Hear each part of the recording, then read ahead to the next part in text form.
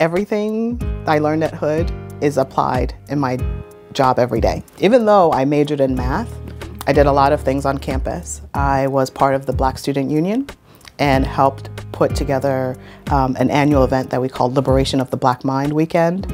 Um, and that is uh, an event where we invited folks from other campuses to come and talk about social justice and um, the civil rights struggle. And um, certainly that's part of my current work now. And then the other thing too is, you know, I took courses in other disciplines. Uh, this is the beauty of a liberal arts education, right? Um, and so you know, I took courses with Dr. Zaki in history and African American studies, and we talked about, you know, we read books by bell hooks and feminist thought, and really talked about, you know, right now the word intersectionality is very you sort of um, popular and in.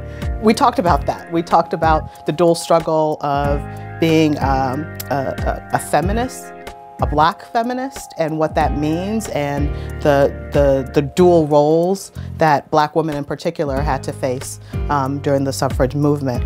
Um, and so those are the kinds of conversations I had even though I was a math major here at Hood. Um, and you know, when I work at the NAACP today, um, those conversations continue.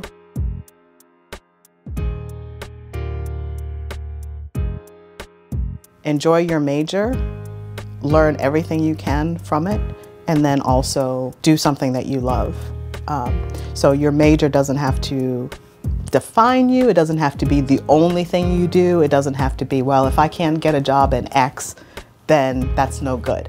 The, the, the beauty of being at a college like this is that you get to learn, you get to um, analyze, you get to write, enjoy writing. it, it, comes in handy in every career. Um, but apply the things that you like and the things that you learn about yourself to other experiences, other opportunities, just beyond your, your major necessarily.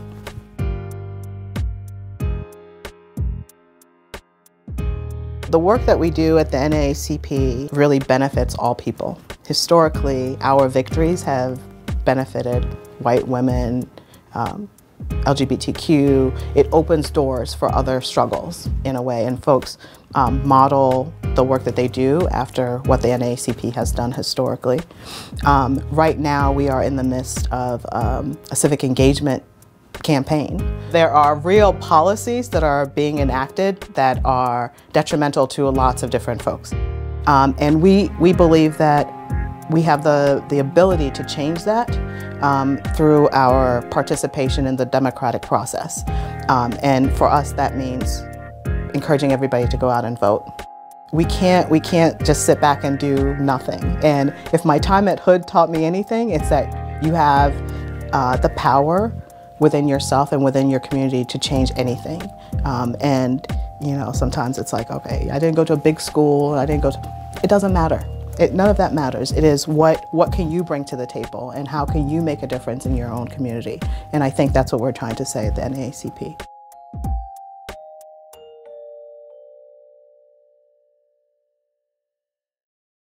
Hey, H, O, O, D, go Blazers. Hey, go Blazers. Hey,